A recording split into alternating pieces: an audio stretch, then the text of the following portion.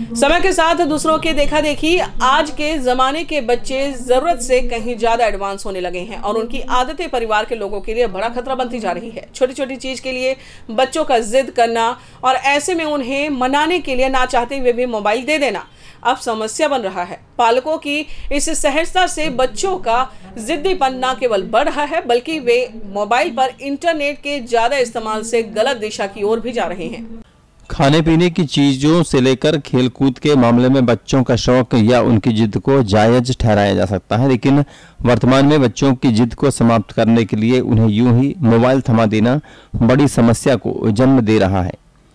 अपने अभिभावकों की इस कमज़ोर नस को बच्चों ने भली भांति पहचान लिया है और इस चक्कर में उनका जिद्दीपन और भी बढ़ता जा रहा है। हालात ऐसे हो रहे हैं कि अब मोबाइल के बिना बच्चों की ज़िंदगी अधूरी हो रही है और वे मोबाइल के लिए हर प्रकार के तौर तरीकों पर अमल करने से नहीं चूक रहे हैं। मनोवैज्ञानिक डॉक्टर नीलिमा महापात्र ने इस तरह की स्थिति पर चिंता जताने के साथ कहा कि इससे बचने की बेहद आवश्यकता है। मोबाइल यूज़ बहुत ज़्यादा एक्सेसिव यूज़ कर रहे हैं इंटरनेट का। देखिए, इंटरनेट यूज़ करना हमारे बेनिफिट के लिए ठीक है, लेकिन एक हद तक उससे अगर ज़्यादा बढ़ जाए आवर्स बढ़ जाए, अगर दो घंटे से ज़्यादा पूरे दिन में बढ़ जाता है तो वो धीरे धीरे इंटरनेट एडिक्शन हो जाएगा। स्पेशली बच्चे जो चीज़ें नहीं देखना चाहिए, उसमें भी आजकल चीज़ें आ जाती, अपने आप आ जाती हैं, जिससे बच्चे गलत राह पे चले जाते हैं। डॉक्टर नीलिमा ने बताया कि जानकारी प्राप्त करने के लिए निश्चित मात्रा में मोबाइल का उपयोग जायज़ हो सकता है, लेकिन इसके बाद की स्थिति में खतरे स्वाभाविक हैं।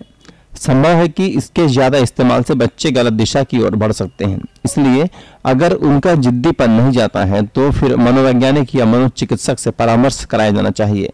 बच्चा अगर नहीं मानता है तो बेटर है कि आप काउंसलर के पास जाए या साइकोलॉजिस्ट के पास जाए या साइकेट्रिस्ट के पास जाए और उसका थेरेपी सेशंस ले ताकि बच्चे इस लत से निकल सके। चिकित्सक बताते हैं कि मोबाइल के अधिक उपयोग करने से स्मार्टफ़ोन विजन सिंड्रोम होने पर आँख पर ज़ोर, गर्दन और कंधे में दर्द, सिर दर्द, आँखों में सूखापन जैसी समस्याएँ सामने आ सकती हैं। सबसे बड़ा असर आँखों के फोकस पर पड़ता है, क्योंकि इसके बाद आँखें दूसरी चीज़ों पर बेहतर फोकस नहीं कर पाती हैं। ऐसे में संबंधित लोगों को भविष्य में काफ़ी परेशानियाँ उठानी पड़ सकती हैं इसे आसानी से समझा जा सकता है। कोरबा से मनोज यादव के साथ पवन तिवारी की रिपोर्ट।